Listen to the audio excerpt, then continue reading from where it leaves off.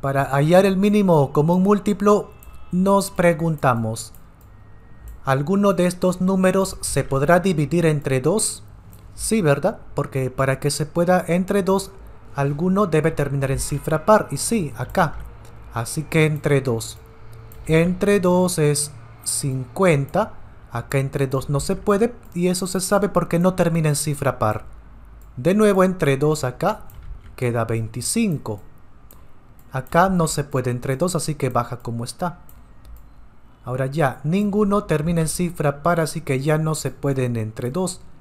Para saber si se pueden entre 3, la técnica es sumar las cifras. Acá, por ejemplo, 1 más 1 más 5, 7. 7 como no se puede dividir entre 3, este número tampoco. Tampoco se puede el 25, así que no. Pero entre 5 sí. Basta que uno se pueda. A ver, entre 5 es 5. Ahora 115 entre 5 es 23. De nuevo entre 5, porque acá se puede. Entre 5 es 1 y acá entre 5 no es exacto, así que baja. Ya no se pueden entre 5. 23 solo se puede dividir entre el mismo 23. Es un número primo como estos, pero hay más. Los 1 solo bajan, ahora 23 entre 23 es 1.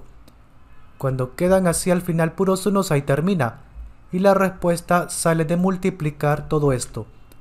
2 por 2, 4 por 5, 20, 20 por 5, 100 y 100 por 23, 2300. Y listo. Ahora esa respuesta se puede escribir también de otra forma. A este lado aparece 2, 5 y 23, así que se coloca por acá una sola vez cada uno.